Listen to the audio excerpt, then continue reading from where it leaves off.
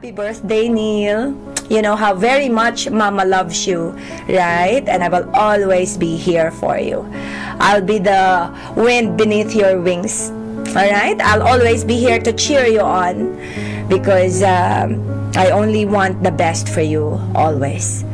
And may God bless all your dreams.